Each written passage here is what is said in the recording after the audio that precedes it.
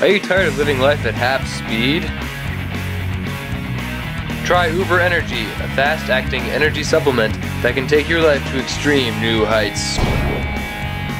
Uber Energy has a vast array of applications and can help in virtually any situation. Uber Energy is not FDA approved and it's only tested on monkeys. Do not consume more than one canister per week. If so, side effects may include abdominal pain, muscle spasms, restlessness, reduced fertility, respiratory, complications, cancer, and death. If you experience these symptoms, please see a doctor immediately.